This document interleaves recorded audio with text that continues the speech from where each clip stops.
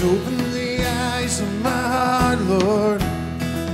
Open the eyes of my heart. I want to see you.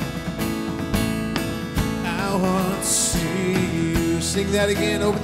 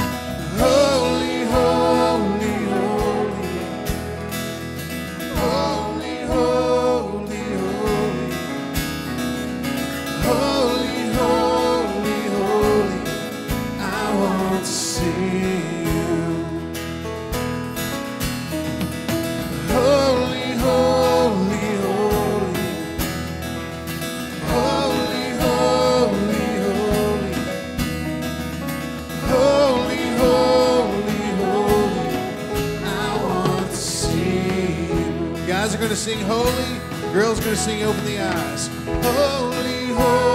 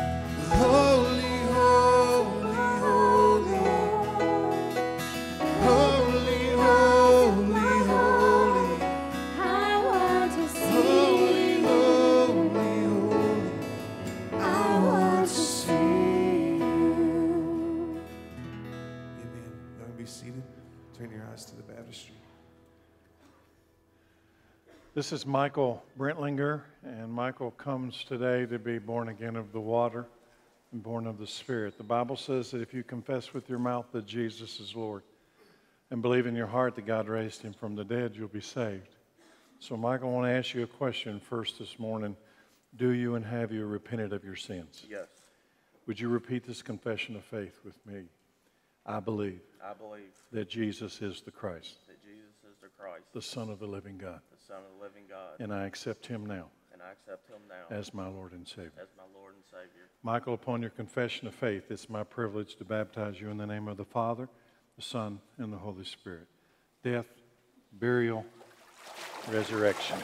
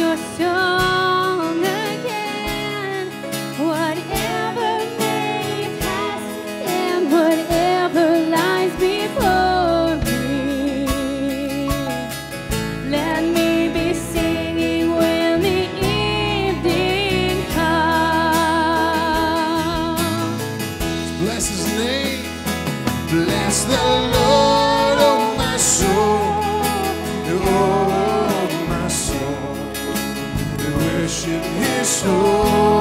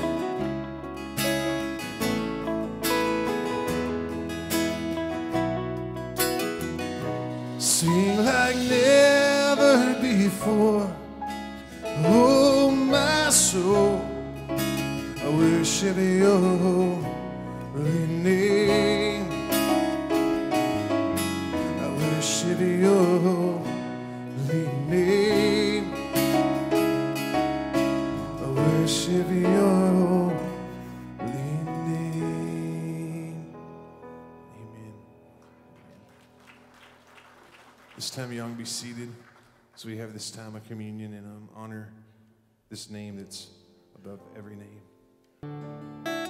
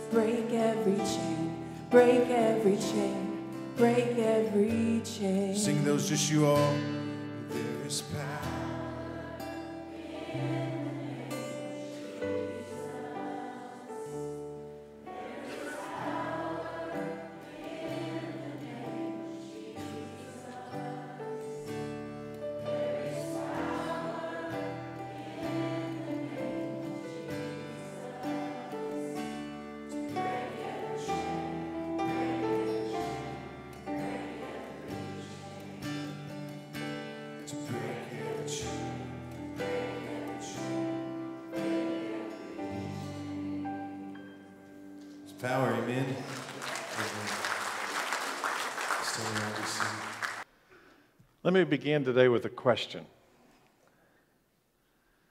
Do you ever look around and say, in your little circle or your medium circle or your big circle, do you ever look around and say, this thing's totally out of control?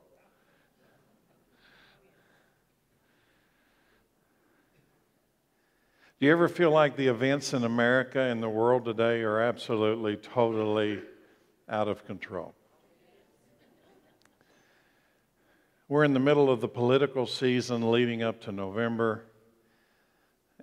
And I'm going to tell you, these people are nuts. These people are nuts.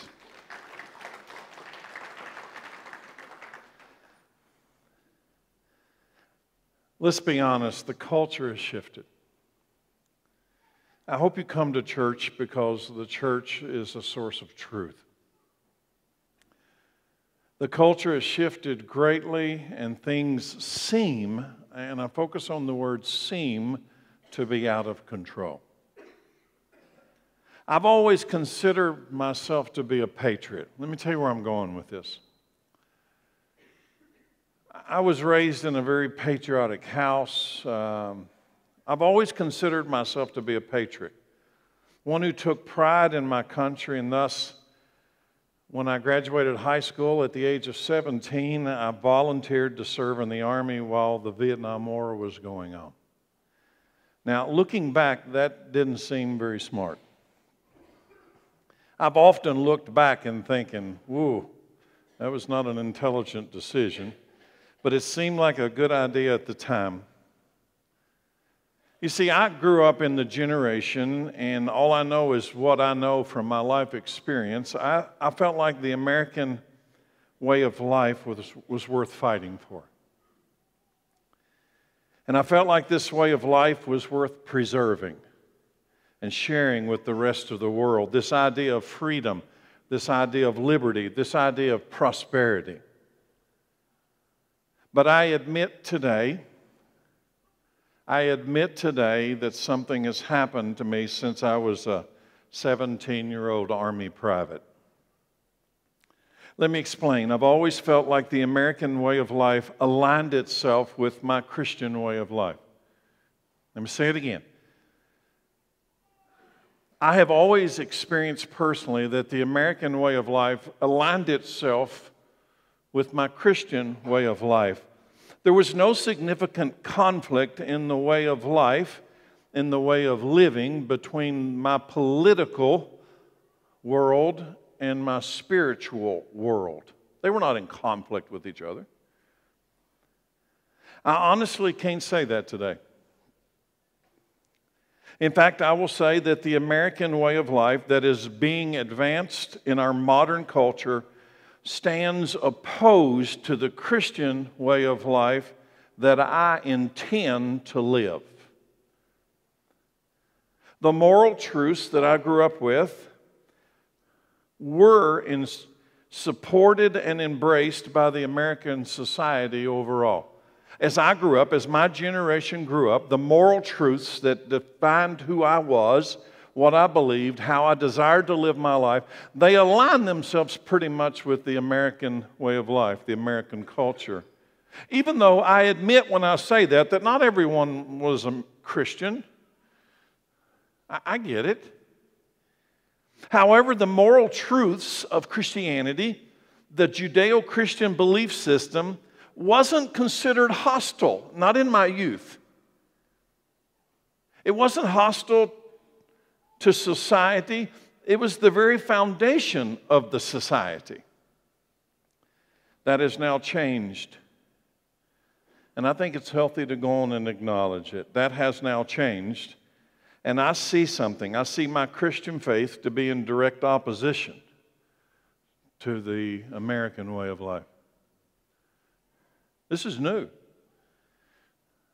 This is new. This is a culture shift. And because they are in conflict with each other, I am forced to choose which way of life will I live. I begin this part this morning by saying this. Everybody, listen. Everything is still under control.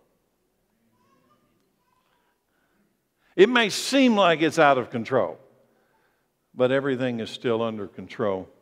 No matter how crazy things look today, everything is still under control. The foundations that set this nation up as the greatest and most powerful nation on earth have been under attack, and they have seemingly been brought under the control of Satan. But I tell you something today, I proclaim the truth. Everything, everything, past, present, future, is still under control. Today. I tell you today that God is still on his throne. Jesus is sitting at his right hand with all power, dominion, and authority under his control. God is not wringing his hands in disbelief at world events that seem to have replaced truth and the authority of his word. I'm not going to act like I understand all of this today. I'm not going to pretend like I do. But I do know that some things must happen. Let me say it again. I'm not going to come up here today and pretend like I've got all this figured out the spiritual and the physical and everything out of control, under control. I know this. I know this. This is the Word of God. This is the Word of God. And listen, some things must happen. They must happen. And they must happen before Jesus will return. Some things must happen, they must take place. It's not out of control, they are in total control. Let me give you an example.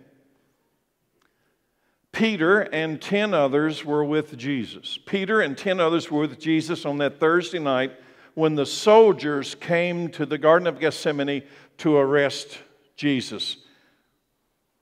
Everybody, listen. Peter and 10 others are with Jesus, the Garden of Gethsemane, Thursday night. Here comes the soldiers. Jesus is praying. Is that out of control? That event, that scene. Most of you know what happened that night. It seemed out of control. Was it out of control? Was the scene out of control? I'm going to tell you, Peter thought it was. If you'd asked Peter, stop in the middle, push pause, Peter, Right now, when all the soldiers have just grabbed Jesus, Judas has just kissed him and betrayed him. Peter, do you think everything's under control? Peter would say, You're nuts. This is a mess. This is a mess. Peter thought it was, but was it out of control or, or, or is it absolutely, positively, 100% in control of God? Let me read a part of that. Matthew 26, and even as Jesus said this, Judas, one of the 12 disciples, arrived with a crowd of men armed with swords and clubs. Is this out of control? It looks out of control. You let a bunch of people come to your house with swords and clubs, it's going to seem out of control. They had been sent by the leading priests and elders of the people. The traitor, Judas, had given them a prearranged signal. You will know which one to arrest when I greet him with a kiss. So Judas came straight to Jesus. Greetings, Rabbi, he exclaimed, and gave him this kiss. Jesus said, My friend, go ahead and do what you have come for. Then the others grabbed Jesus and they arrested him. But one of the men with Jesus pulled out his sword and he struck the high priest's slave, slashing off his ear. Now, if you read the other Gospels, you'll know that's Peter. Peter's pulled his sword out. Why? Because things are out of control. I can bring things back in control with this little shiny thing. Right? That's what he's thinking. Put away your sword, Jesus told Peter. Those who use the sword will die by the sword. Don't you realize, everybody listen to me, because it's really not me, it's Jesus telling the story. Don't you realize that I could ask my Father for thousands of angels to protect us? And He would send them, how fast? Instantly. Angels are quick. He would send them instantly. But if I did, here it comes, here it comes. But if I did, how would the scriptures be fulfilled that describe what must happen now? Then Jesus said to the crowd, Am I some dangerous revolutionary that you come with swords and clubs to arrest me? Why didn't you arrest me in the temple? I was there teaching every day, but this is all happening. is this out of control? This is all happening to fulfill the words of the prophets as recorded in the scriptures. Peter, put up your sword. You guys think this is out of control? This is absolutely in control. This is happening right now because the prophets were told by God, they wrote it down, and I wrote it down so that you would know that when it does happen, that it's from me. At that point, all the disciples deserted him and fled. In control, out of control. If you and I were standing there that night, we would think that this is absolutely out of control, right? Anybody would. I'm not picking on Peter. I'm, well, they're running. All the guys have just run. It's out of control, Jesus.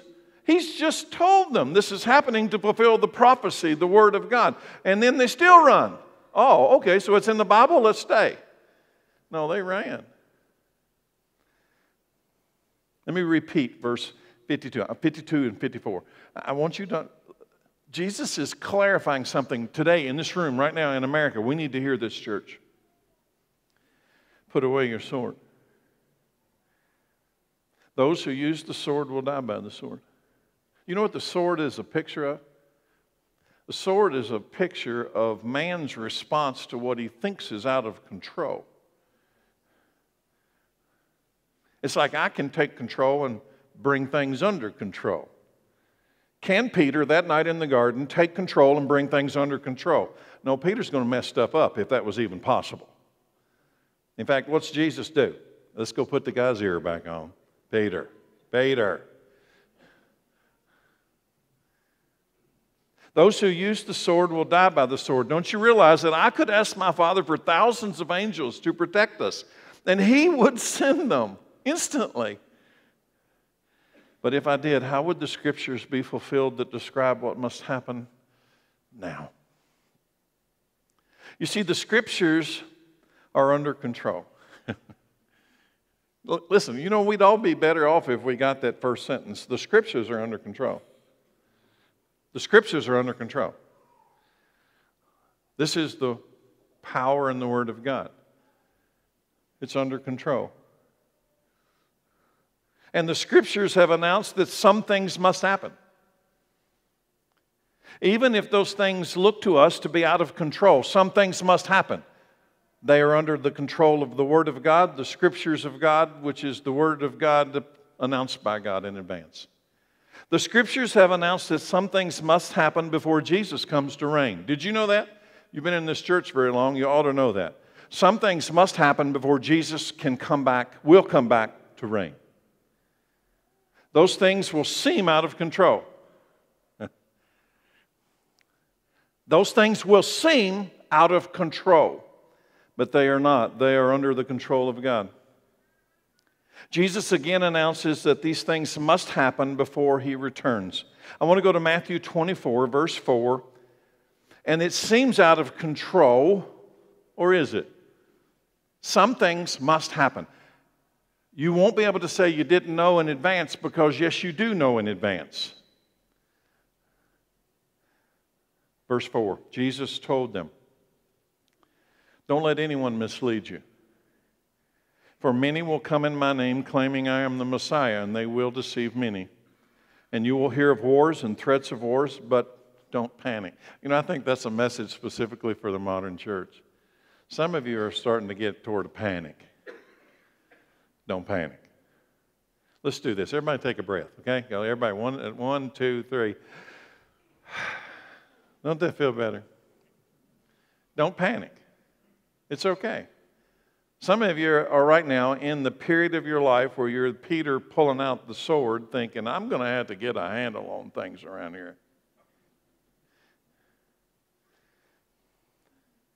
They will deceive many, and you will hear of wars and threats of wars, but don't panic. Yes, these things must take place. But the end won't follow immediately. Nation will go to war against nation, kingdom against kingdom. There'll be famines, earthquakes in many parts of the world. And all of this is only the first of birth pains, and there's more to come. And then you, uh oh, then you will be arrested, persecuted, killed. You'll be hated all over the world because you're my followers. And many will turn away from me and betray and hate each other. And many false prophets will appear and will deceive many people. Sin will be rampant everywhere, and the love of many will grow cold. But the one who endures to the end will be saved. Will you say that sentence with me out loud? The one who endures to the end will be saved. Let's do it again. The one who endures to the end will be saved. And the good news about the kingdom, I'm going to hold it up. And the good news about the kingdom will be preached. He can't stop it. Satan cannot stop it. You can pull out swords, you can't stop it. And the good news will be preached throughout the whole world so that all the nations will hear it, and then the end will come and then the end will come, but not until everything seems out of control.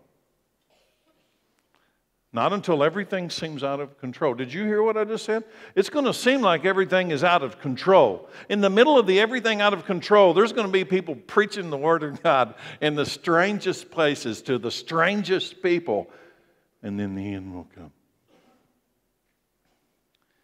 Did you think the church was going to convert the whole world to Christianity and then Jesus was going to return? Come on. Sometimes I see people in the church and I wonder, did you really think that the church was going to preach the gospel to the whole world. They were all going to come to Christ. We're all going to hold hands, circle the world, sing kumbaya, and Jesus comes. Is that it? I got a question. Did you think things were going to get better and better and every nation would have a big revival and then Jesus would come back? If so, where'd you get that? I'm asking. If so, where did you get that? Not from this book. You did not get that from here. You know where you got that? You got that. If I was in charge, that's what would happen. If I was in charge, we'd preach, everybody would come except Christ, we'd all be brothers and sisters, we'd live in peace forevermore. Let me repeat verse 9 through 14 again. But this is what the truth is you will be arrested, you'll be persecuted, some of you are going to be killed. You'll be hated all over the world because you're my followers. Many will turn away from me and betray and hate each other. Many false prophets will appear and deceive many people. Sin's going to be rampant everywhere.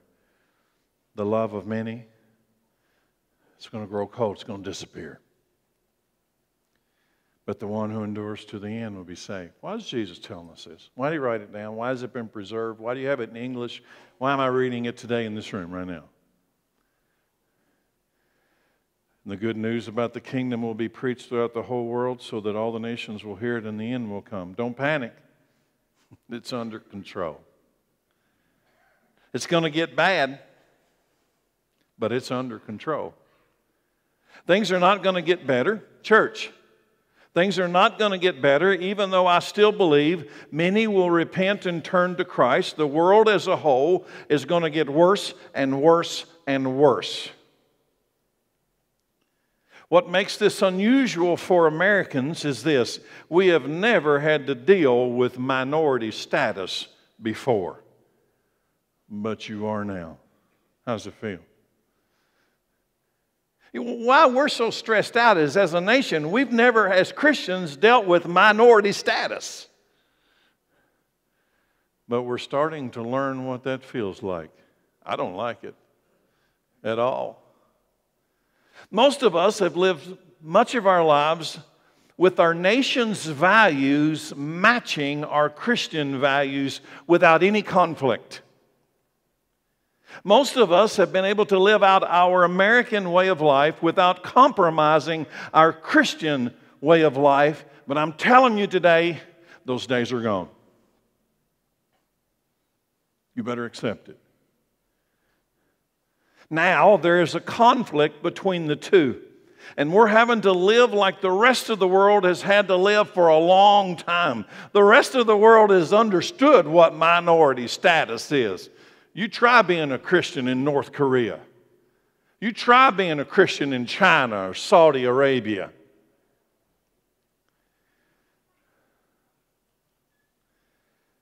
We need to face reality. The world has opposed the church since the first day of the church.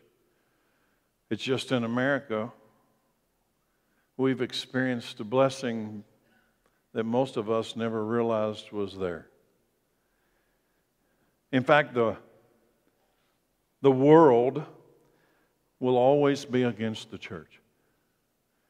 Before the church, let me give you some physical examples and I'll lead up to something. Before the church was initiated by Jesus Christ, before the church, there was Daniel. And Daniel lived under the control of the Babylonians. Understand this about Daniel. Daniel was a Jewish young man when Jerusalem fell. He was carried off as a captive slave to Babylon, modern day Iraq. Daniel lived under the control of Babylon as long as Babylon didn't conflict with God's authority in Daniel's life. You got to understand this when I start today. Daniel acknowledged the authority of the nation of Babylon, the king Nebuchadnezzar. He acknowledged the authority of the nation over him until the nation over him conflicted with his faith. As long as the two, the, the political realm and the spiritual realm, could work together, Daniel acknowledged the authority of government. But what would Daniel do when they became in conflict with each other? When, they, when the government refused to acknowledge the spiritual realm? Have you ever noticed that Daniel was a revered leader in Babylon? Think about that for a moment. Daniel was a revered leader in Babylon, and then some powers in Babylon did something. Please don't miss this. Daniel was a revered leader, respected leader. And then some people in Babylon's government changed the laws. Stay with me. They changed the laws. And changing the laws brought the political in conflict with the spiritual. It didn't used to be that way, but somebody changed the laws and brought them into conflict. Americans might find some comfort in this story because there are many also changing our laws today. Right now, you're living in the generation that is experiencing the government changing the laws so that the laws now conflict with the spiritual life that Christians desire to live. In 1973, they issued a law, they changed the laws. In 1973, they changed the laws so that abortion was now a civil right. It was your right. Nobody can interfere with your rights. 57 million people since 73 have died. They're people. They're people. They're people. They're dead. Somebody changed the laws. And now you're living in a generation where now gay marriage, men are marrying men, women are marrying women. Now, now listen, for most of our lives in the American culture, somebody had a set of laws. They, they matched up with God's laws, and we could live the American way of life and the Christian way of life, and we didn't conflict very much. But somebody's changed the laws. And even now, last week, I mean, it, it blows my mind. And no, I will not be silent. No, no, there is no silence in the church. The church is the light of the world, the salt of the earth. And we have a president who has now issued letters to every school system in this United States saying that, that men and women can choose their gender based upon their feelings any day, anytime. And that school systems need to now open up facilities so that what? Boys can shower with the girls in the locker room. See, what somebody's changed the laws. There was a generation that we could walk as a Christian in the American culture and submit to the government's authority because we didn't conflict with each other. And then somebody changed the laws. What are you going to do? What are we going to do? Is this out of control or is this in control? You better figure out which one that is. Daniel served King Nebuchadnezzar with honor and distinction without compromising the laws of God. Listen carefully. Daniel served the guy who replaced King Nebuchadnezzar, Belshazzar. He served him with honor and distinction without compromising the laws of God. Here's a man in government, high level government, and he serves the government with honor and distinction, no compromise to his faith. Nebuchadnezzar, and then here comes Belshazzar. And Daniel, he served King Darius. Read the book. He served King Darius with honor and distinction without compromising the laws of God. And then something happened. Somebody changed the laws. Did, it seem, did that seem out of control? Let me read it to you Daniel 6 1. Darius the Mede, he was the king of actually not just Babylon, but that whole region. Darius the Mede decided to divide the kingdom into 120 provinces. He appointed a high officer to rule over each province, and he chose Daniel. He chose a Jew. You think that was popular? Well, you need to read the rest of the story to find out that one.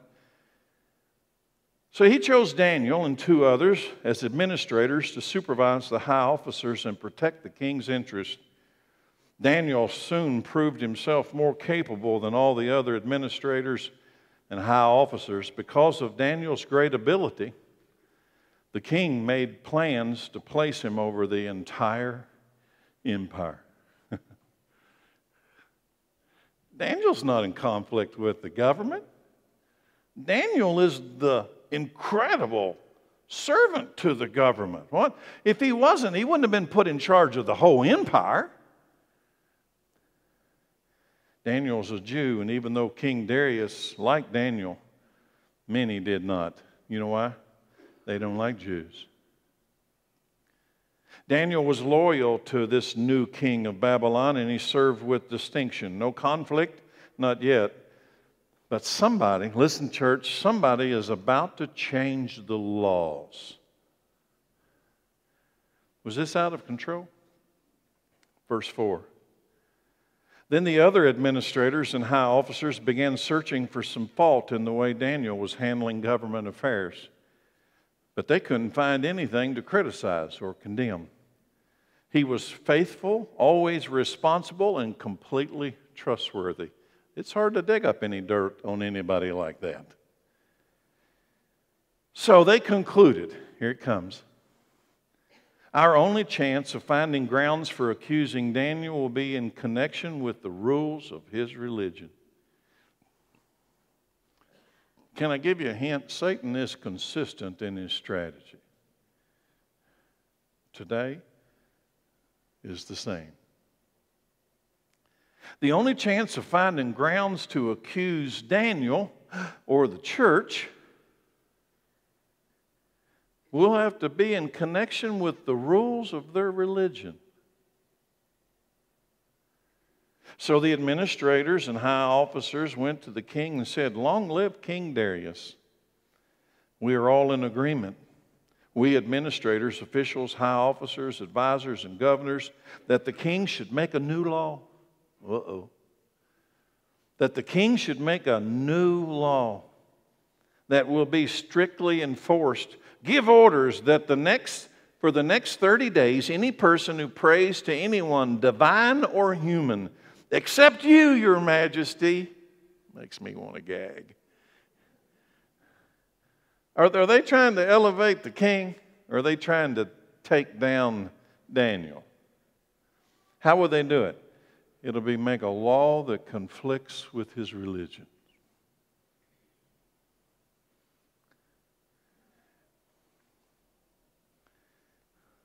Give orders that the next 30 days, any person who prays to anyone, divine or human, except to you, your majesty, will be thrown into the den of lions. And now, Your Majesty, issue and sign this law so it cannot be changed. An official law of the Medes and Persians that cannot be revoked. So King Darius signed the law.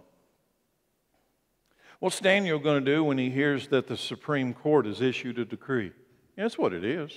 What do you want? What's Daniel going to do now that the Supreme Court has issued its ruling that is in direct conflict with the laws of his God? Can I ask you a question? What would you do? If you're Daniel in that scene, what would you do? Well, I need to go along. Or, or what would you do today if the Supreme Court issued a ruling that was in direct conflict with your faith? Would you go along? Should you go along? Is this out of control? Listen very carefully before I read the next verse. Listen. Daniel, Daniel knows that the law has been changed.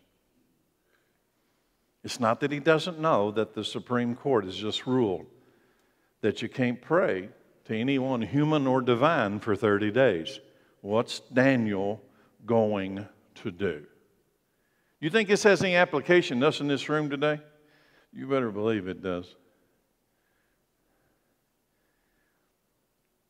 You see, Daniel knew that the law had been changed and that disobeying the law would bring the death penalty. Verse 10. But when Daniel learned that the law had been signed, okay, he knows. He knows. When Daniel learned that the law had been signed, he went home and he knelt down as usual in his upstairs room with its windows open toward Jerusalem. Shouldn't he have shut the window? He prayed three times a day, just as he had always done, giving thanks to his God. Then the officials went together to Daniel's house and they found him praying and asking for God's help. What was he, what was he doing? He's asking for God's help. Why? Because he knows that troubles are brewing. So they went straight to the king and reminded him about his law. Did you not sign a law that for the next 30 days, any person who prays to anyone, divine or human, except to you, your majesty, will be thrown into the den of lions? Yes, the king replied, That decision stands. It is the official law of the Medes and Persians that cannot be revoked. Then they told the king, That man Daniel, one of the captives from Judah, that Jew, is ignoring you and your law. He still prays to his God three times a day. Hearing this, the king was deeply troubled and he tried to think of a way to save Daniel. He spent the rest of the day looking for a way to get Daniel out of this predicament. Daniel knelt down as usual. He didn't hide, he didn't shut the windows. Daniel bowed and he faced Jerusalem three times a day, as usual. Nothing changed. You see, Daniel grew up in Babylon and his religion did not conflict. When it did, he chose to follow God. And somebody changed the laws. This event would have happened late in Daniel's life, and thus Daniel had lived most of his life without any conflict in this area of prayer to God. But somebody did something, somebody changed the laws. Is this out of control or absolutely in control? Do you think this event is out of control or absolutely in control? And I need to ask a third question. What would you have done?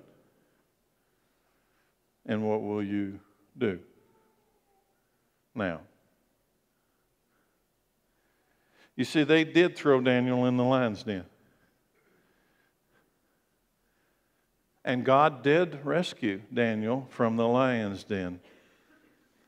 And God did something that makes me want to clap and cheer. He, he then made Darius throw those scoundrels in the lion's den. Should I not be happy about that? I'm struggling with that one. Verse 19 Very early the next morning, the king got up and he hurried out to the lion's den. When he got there, he called out in anguish, Daniel, servant of the living God. You see the influence Daniel, a man of God, was having in the kingdom? Daniel, man of God. Was your God, whom you serve so faithfully, able to rescue you from the lions? Daniel answered, Long live the king. My God sent his angel to shut the lion's mouth so that they would not hurt me, for I have been found innocent in his sight. And I have not wronged you, your majesty. The king was overjoyed, and he ordered that Daniel be lifted from the den. Not a scratch was found on him, for he had trusted in his God. Then the king gave orders to arrest the men who had maliciously accused Daniel. He had them thrown into the lion's den along with their wives and their children. Ooh. The lions leaped on them and tore them apart before they even hit the floor of the den. Then King Darius sent this message to the people of every race and nation and language throughout the world Peace and prosperity to you. I decree that everyone throughout my kingdom should tremble with fear before the God of Daniel, for he is the living God, and he will endure forever. His kingdom will never be destroyed, and his rule will never end. He rescues and saves his people. He performs miraculous signs and wonders in the heavens and on the earth. And he has rescued Daniel from the power of the lions. Who's become the preacher? Come on, somebody, who became the preacher? The king has become the preacher. Why? Because Daniel went along? Nope. The king became the preacher because Daniel wouldn't go along. Now the message is being preached in the entire kingdom. Why? Because Daniel went along? No, because Daniel wouldn't go along. So Daniel prospered during the reign of Darius and the reign of Cyrus the Persian. So I've got four questions. Here we go. This is when it gets serious. Now we're going to have practical application time. I got four questions. You see, here's the problem. We see this Daniel story and we say, yes, God's in control. But here comes the four questions. Is God in control? Yeah. Daniel, he's delivered. Those scoundrels got what was coming. Here's the four questions. What if the lions had eaten Daniel? Is God still in control?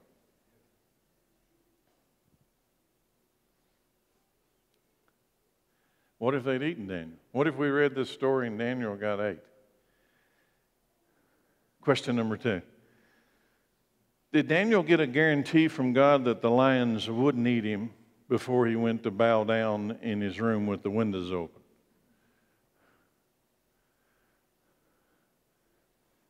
Question number three Is God only in control when believers escape death?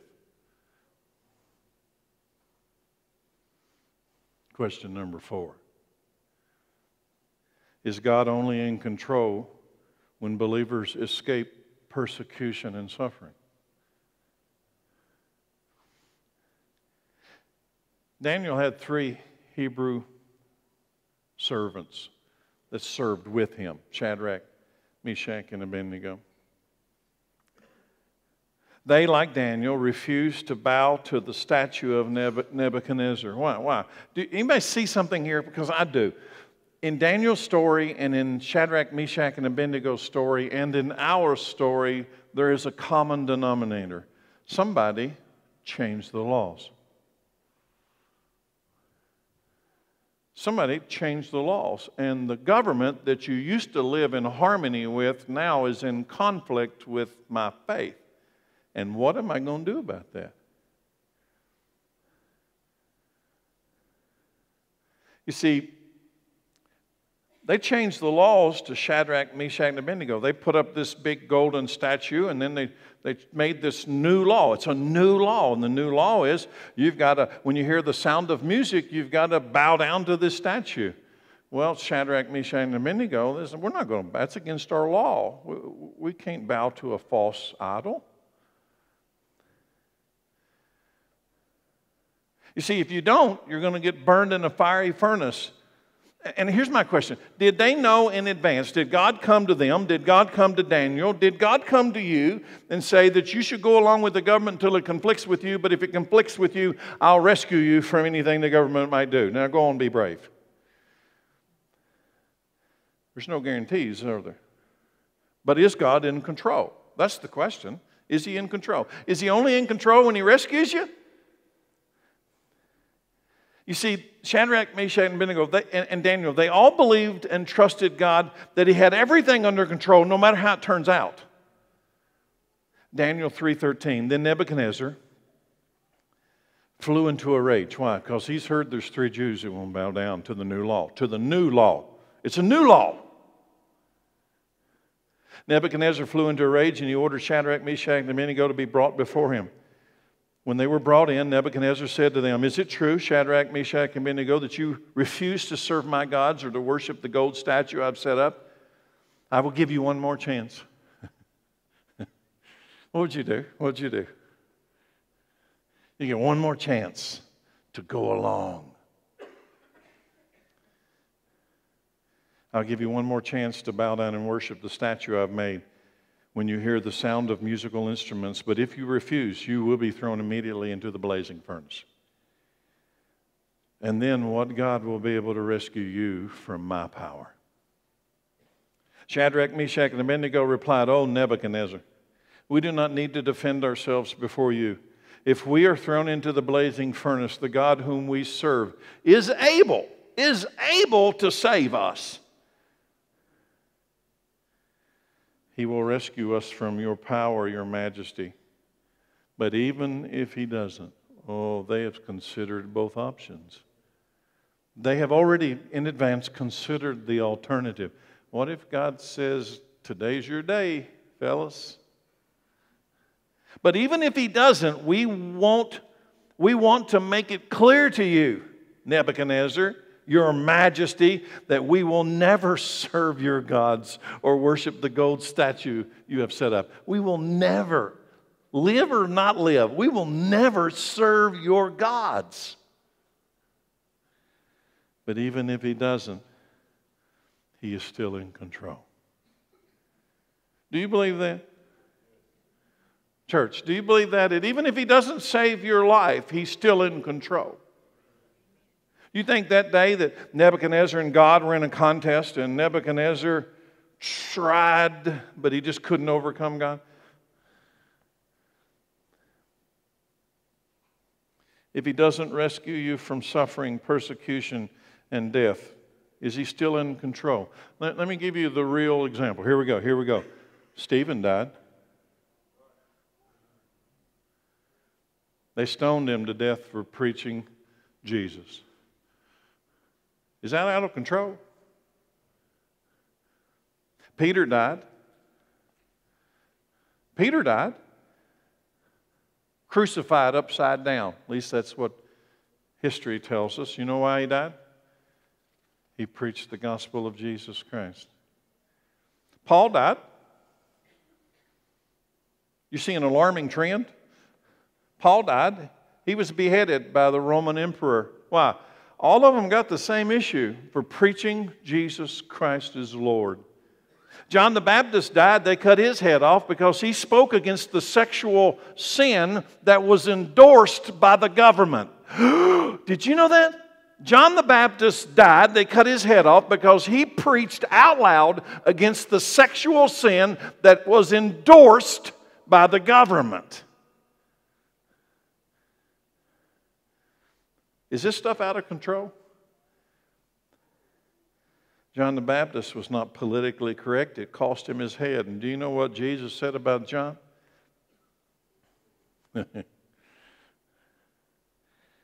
Luke 7 28, Jesus says, I tell you, of all who have ever lived, none is greater than John. And what John do? He preached out loud without apology about the sexual sin that was being announced and supported by the government. What about us today? Really, everything I've said today is to bring us to this practical application point from the scriptures for us in the room today. Philippians 3:17. Here it comes, church. Are you ready? Say uh-huh. Dear brothers and sisters, pattern your lives after mine. The apostle Paul's writing this. Pattern your lives after mine and learn from those who follow our example. For I have told you often, I have told you often before, and I say it again with tears in my eyes there are many whose conduct show that they are really enemies of the cross of Christ. They are headed for destruction.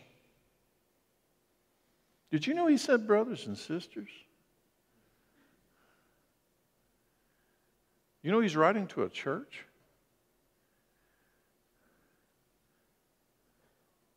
There are many whose conduct show they're really enemies of the cross of Christ. They're headed for destruction. Their God is their appetite. They brag about shameful things and they think only about this life, this moment. They think only about this life here on this earth the right now. But we, no, no, here comes the contrast. There's a different way of thinking. But we are citizens of heaven, where the Lord Jesus Christ lives, and we are eagerly waiting for him to return as our Savior. He will take our weak mortal bodies, He will take our weak and mortal bodies and change them into glorious bodies like His own using the same power with which He will bring everything, everything under His control.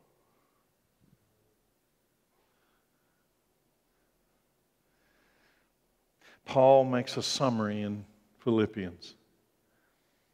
Brothers and sisters, pattern your life after me. And then we on this side look at that and say, but, but, but, they cut your head off. Pattern my life after you, and they cut your head off. Where's Paul today? You think he got his head back?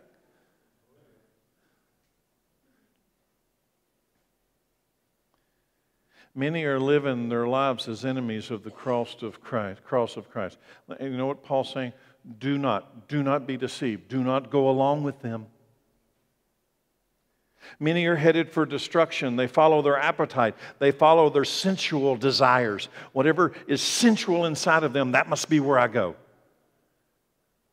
Many are only thinking about today and they never consider eternity past, present, future. Is it under control or not? You see, the world only wants to deal with this one, this one, only this one. I want the present to satisfy me. They never take in mind all the events of the past, which tell us clearly the events of the future. I only want now. Brothers and sisters, we are citizens of heaven, and that's where our King now resides. And I'm going to tell you today everything is under his control. The kingdom of heaven has not changed its laws. I'm going to hold them up without apology. I have lived most of my life where the government and I did not conflict.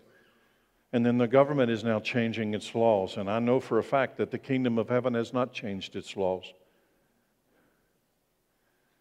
His law stands past, present, future. We're eagerly waiting for our King to come as our Savior.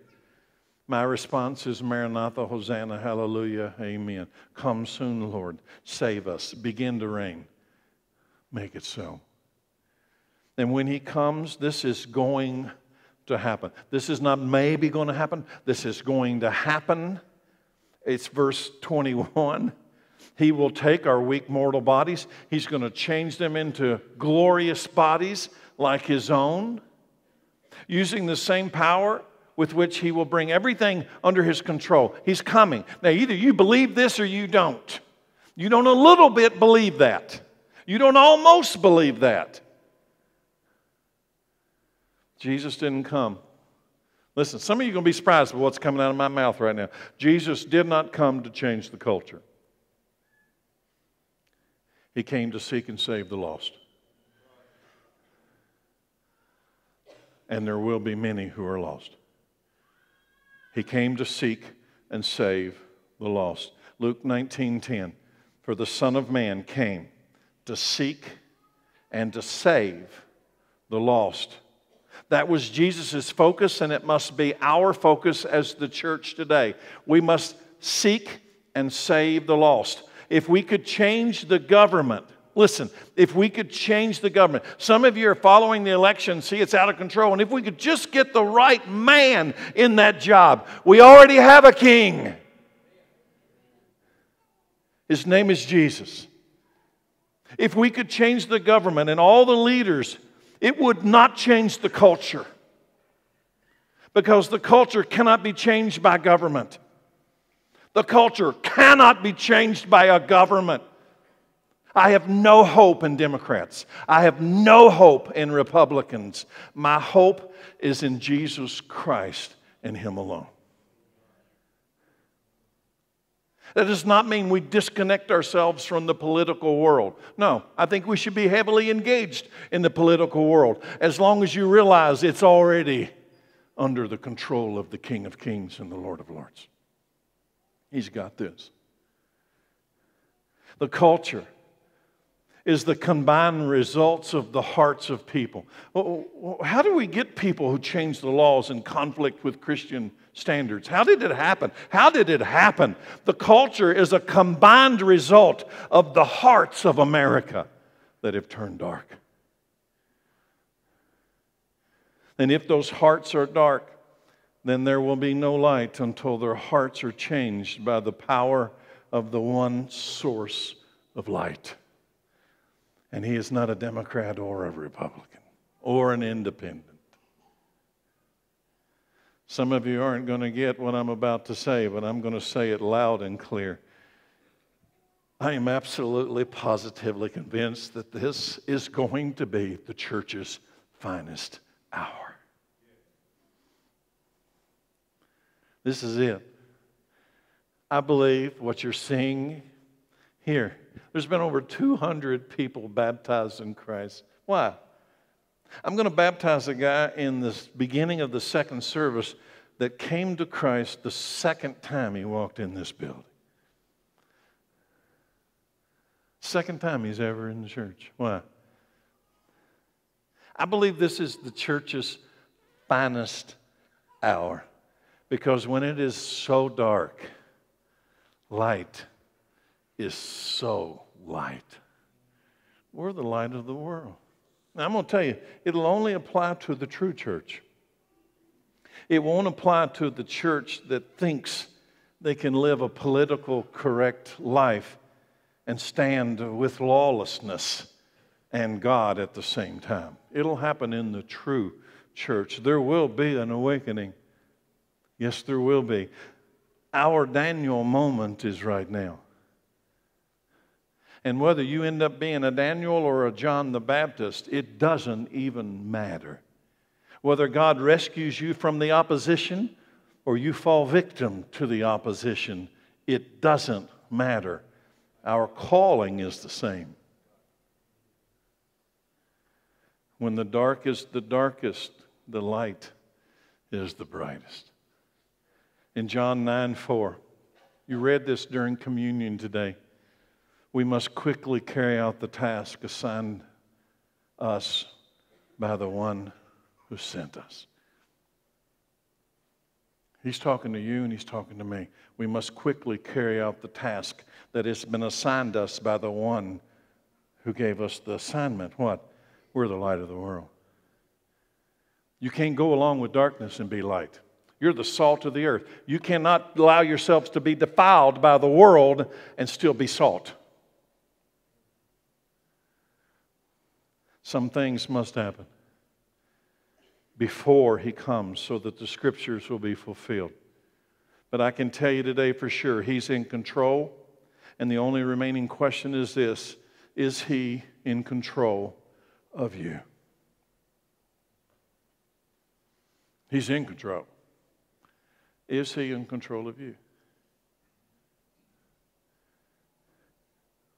Is he your master? Is he your Savior? Is he your Lord? I close with this encouraging word from the Word of God. And I'm going to say it again the laws of heaven have not changed. 1 Peter 5 6. So humble yourselves under the mighty power of God. And at the right time, He will lift you up in honor. Give all your worries and cares to God, for He cares for you.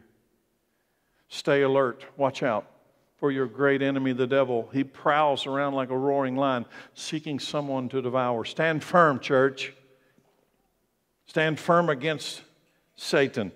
Be strong in your faith. Remember that your Christian brothers and sisters all over the world are going through the same kind of suffering that you are.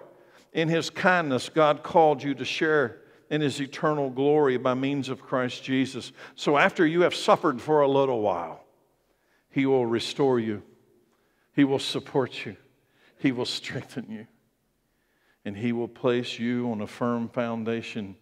All power to Him forever. Amen. I'm going to ask Chad to come out. Church, I want to tell you today some things must happen. It's written down so that you'll not panic, you don't feel like God has lost his attention span or he has now turned us over into the darkness. No, no, no, no, no. Some things must happen. The gospel is going to be preached all over the world and then the end will come. Is he in control of you? That's the last remaining question. We offer this invitation today to respond to that question Is he in control of you. He invites you under the shelter of His wings. Let's stand.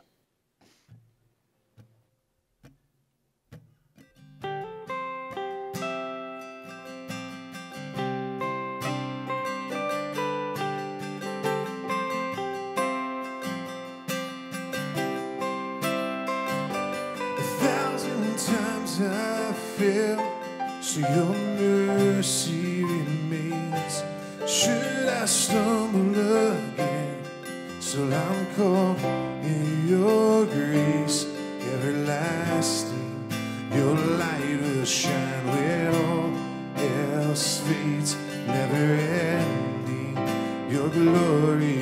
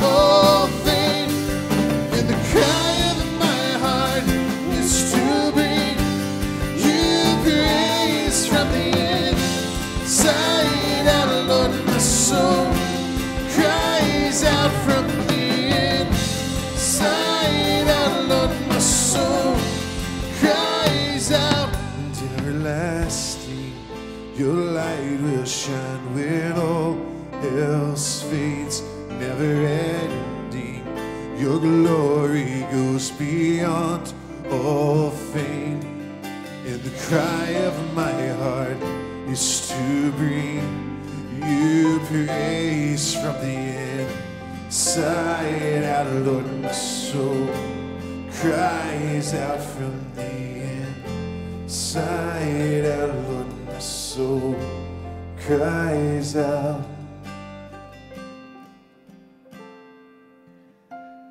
You know, these sermons go out on YouTube, and some of you are going to have to realize that you may find yourself in conflict with coming to a church that believes like this. Somebody's going to say where you work, you go to that church that said that stuff. And you're going to have to decide who you are. You're going to have to have your Daniel moment. You're going to decide, yeah, I go to that church because that's who I am. Somebody's changed the laws. I'm still going to bow and face Jerusalem. And I'm telling you up front, you better figure out who you are and what you believe. For the love of most will grow cold. Church, all of this is for a reason to strengthen the bride of Christ, to purify her, to make her ready for the wedding, for he is coming. Oh, yes, he is. Father, today make your bride ready, make her clean. Father, we don't sell ourselves to somebody else. We are not for sale. We've been bought with a price. The precious blood of Christ has purchased us. You have redeemed us. We are not for sale. We will not bow to false gods. We will not bow to governments that proclaim false gods and tell us to go along. We will not because we already have a king. His name is Jesus. And from everlasting to everlasting, we are His. We pray this in His name. And amen. Thank you for being here today. So, Clay, upon your confession of faith, it is my privilege to baptize you in the name of the Father, and the Son, and the Holy Spirit. Death, burial, resurrection. Sherry, upon your confession of faith, it's my privilege to baptize you in the name of the Father, the Son, and the Holy Spirit. Death, burial, resurrection. I believe that Jesus is the Christ, the Son of the living God. I accept him now as my Lord and Savior.